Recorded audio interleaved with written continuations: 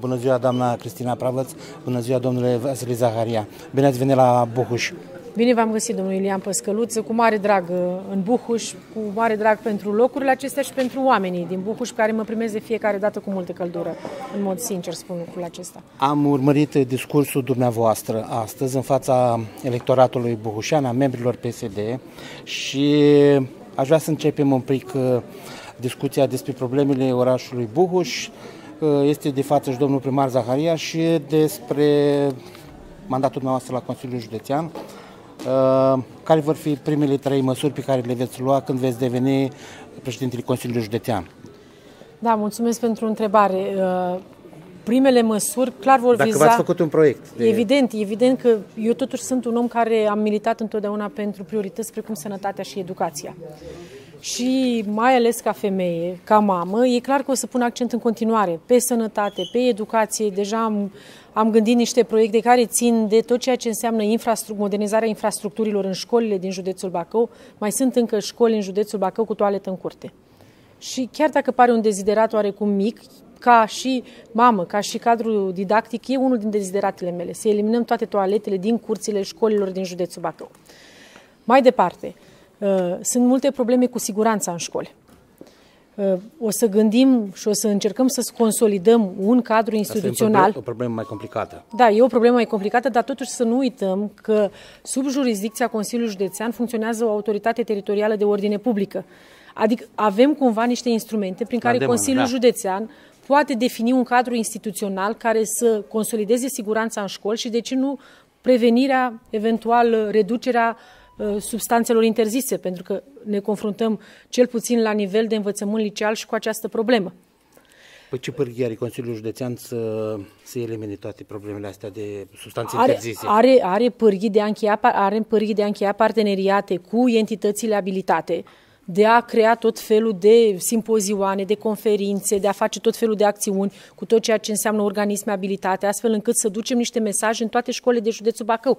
Și repet, avem totuși o autoritate teritorială de ordine publică care poate defini niște instrumente. Repet, nu există un cadru instituțional la momentul acesta la nivelul Consiliului Județean, dar îl putem defini. Dar cadrul legal există. Cadrul legal îl găsim, da, identificăm. Da, identific, identificăm pârghiri, chiar dacă, repet, nu există norme care să legifereze în stricto senso aceste lucruri, dar avem niște autorități care funcționează sub egida Consiliului Județean și atunci putem folosi pârghile acestea. De asemenea, o altă măsură pe care mi-o doresc a fi continuată, pentru că aici nu e neapărat ideea mea, ține de tot ceea ce înseamnă continuarea parteneriatelor cu localitățile din județul Bacău care vor să construiască pe ceea ce înseamnă uh, investiții în sănătate, investiții în educație, investiții în dezvoltare uh, comunitară. Nu știu, rețele de drumuri, rețele de canalizare, rețele de apă, Parteneriatele acestea vor fi continuate și resursele de care dispune Consiliul Județean, atâtea câte sunt ele, vor fi direcționate cel puțin pe linie de cofinanțări, astfel încât proiectele acestea importante să se realizeze. Vă dau un exemplu. La... Dar veți schimba viteza de derulare a proiectelor? Pentru că în momentul de față mi se pare că lucrurile merg încet. Viteza de derulare a proiectelor ține și de birocrația în care ne aflăm cu toții. Da, Dar știți, de exemplu, de, a, a, de exemplu, știți, lăsați-mă să termin și vă spun, știți, guvernul... dacă vă refer, la ce vă referiți că se derulează în cel? La ce proiect vă referiți? Adică de la stadiu zero până la Nu, nu, dar la ce proiect credeți, ce proiect din proiect? județul Bacău? Nu e chiar așa, nu. Sunt proiecte care Adi, totuși adică, își practic, respectă sunt, ritmul sunt, de, de uh, execuție. Poate vă referiți, nu știu, vă dau eu un exemplu, la pavilionul municipal. Acolo am avut o, o contestație, la documentație. De asta, adică apar, sunt, sunt niște etape pe care nu le putem sări. Pentru că fiecare dintre noi totuși uh, avem uh, și nevoia de a rămâne integri din punct de vedere profesional și, în al doilea rând, cred că dorim cu toții să dormim pe perna noastră acasă și să nu sărim Correct. etape birocratice, legale, astfel încât să grăbim. Uh, birocrația aceasta știți că e impusă nu numai de normele care au o natură națională, vine și din afară.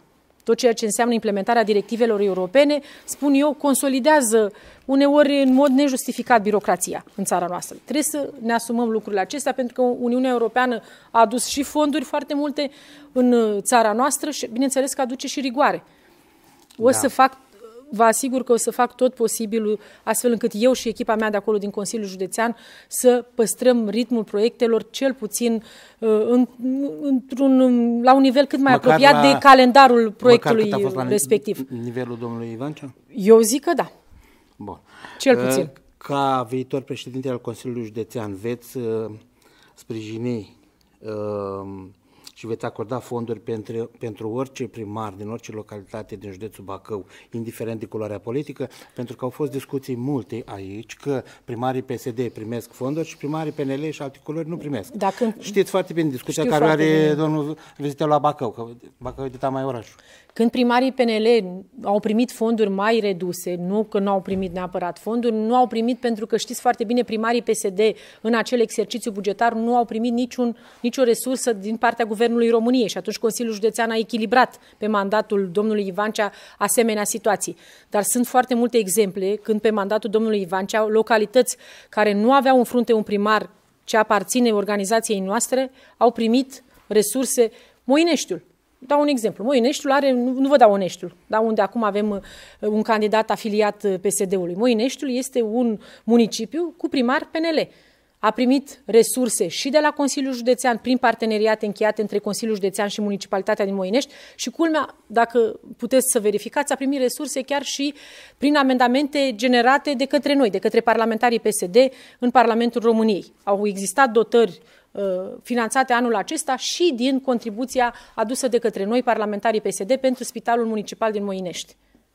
Și, evident, am, mi-am asumat-o și în alte intervenții publice, dacă investițiile vor fi investiții majore, semnificative pentru comunitatea respectivă, atunci culoarea politică a primarului nu va conta.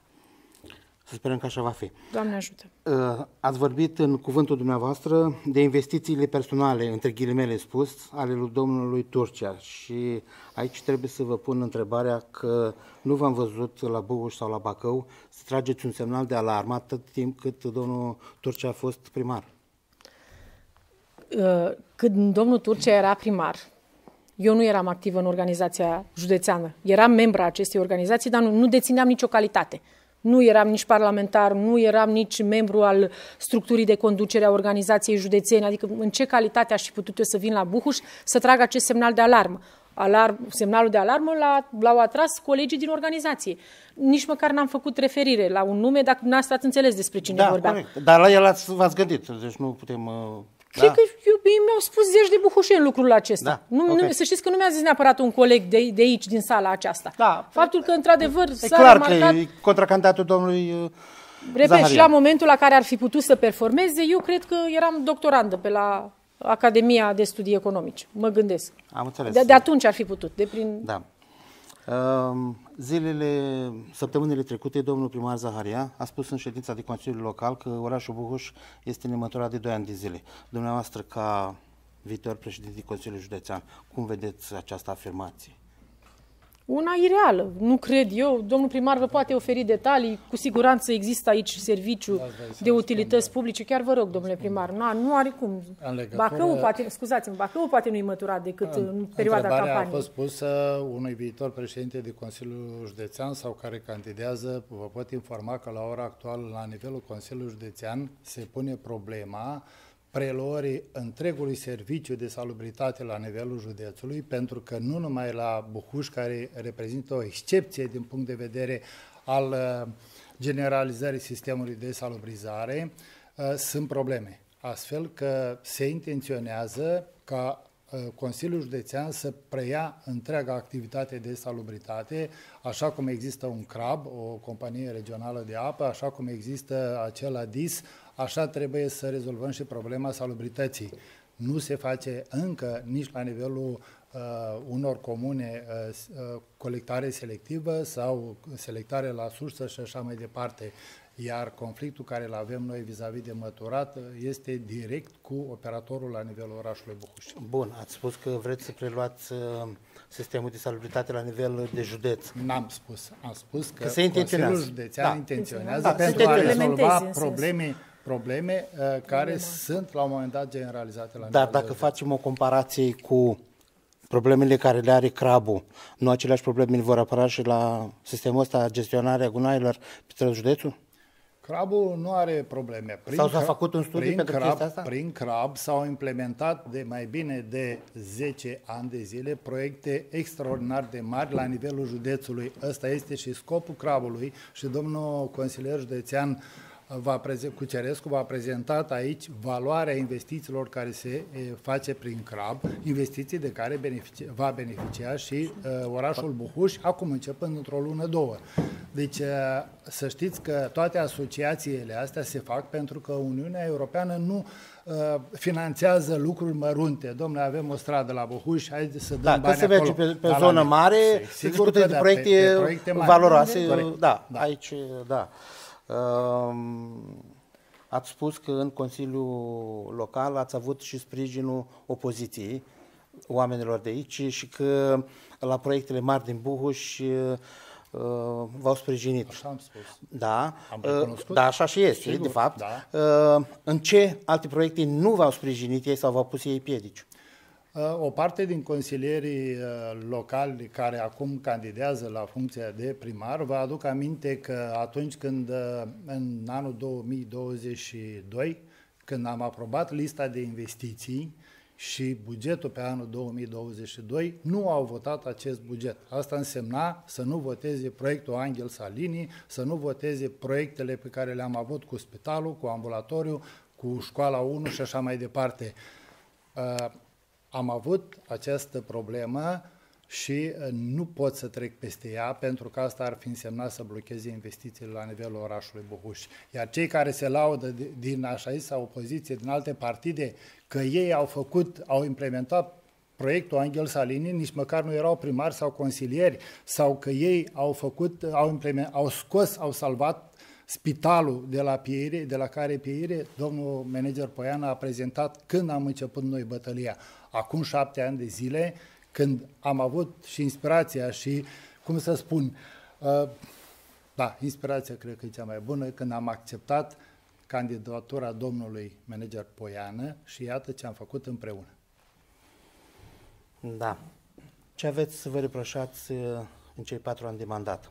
Că n-am reușit să duc la capăt toate proiectele, dar sunt, există cauze obiective Care și că n-am reușit să fac mai mult. În de exemplu, pe strada Ion Ionescu de la Brad... Strada Ion Ionescu de la Brad reprezintă un proiect care se află în derulare, iar stadiul lucrărilor nu se datorează, este o cauză obiectivă. Am avut un contract cu un constructor care nu și-a făcut treaba. În plus, am dat peste o conductă de gaz care a trebuit să fie uh, înlocuită în totalitate și nu era trecută în lista noastră de, de investiții, este o investiție pe care o treb- a trebuit să o facă Delgaz Gridu și prin demersurile noastre Delgaz Gridu, care mi-a zis, domn primar, nu pot să înlocuiesc acea conductă, că n-am nicio avare pe ea în ultimii 10 ani de zile.